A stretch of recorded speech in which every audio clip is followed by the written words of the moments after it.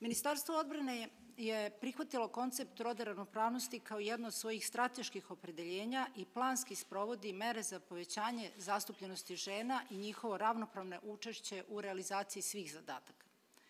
U toku dva ciklusa sprovođenja nacionalnog akcijnog plana za primjer rezolucije 1325 Saveta bezbednosti Jedinih nacija, težili smo što boljim rezultatima,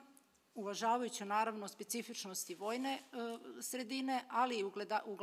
ugledavajući se, odnosno ugledajući se na dobre prakse i drugih delova sektora bezbednosti kao specifičnog sektora u, u, na nacionalnom nivou. Naravno, e, rezultati, kao što je rekla i gospođa Janković, nisu baš e, u potpunosti e, realizovani što se tiče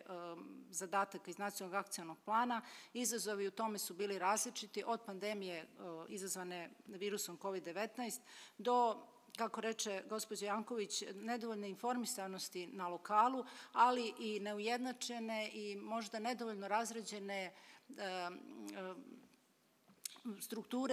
dostavljanja podataka i, i, detaljne analize e, koja bi nam e, dala neke ključne pokazatelje i dala praktično bolju sliku nivoa uvođenja rodne perspektive u sektor bezbednosti i uopšte u ostale sektore na nacionalnom nivou. Ipak, želim danas sa vama da podelim najznačajnije posticajne mere uvođenja rodne perspektive u našem sistemu, a to su pre svega kontinuirane promene i primene normativno-pravnog okvira,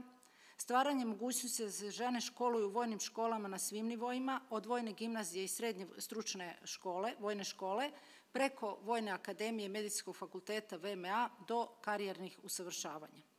Takođe, prijem žena u profesionalnu vojnu službu omogućen je i kao u kategoriji profesionalnih vojnika i vojnika na dobrovoljnoj službi vojnog roka, odnosno na kursu za osposobljavanje za rezervne oficire. Takođe, u ministarstvu smo formirali institucionalna tela i mehanizme rodne ravnopravnosti i kontinuirano sprovodimo, odnosno omogućili smo učešće žena u multinacionalnim operacijama Jedinih nacija i Evropske unije. E, Ministarstvo odbrane i Vojska Srbije se mogu pohvaliti da ne postoje prepreke da žene postanu profesionalno vojne lica u svim kategorijama.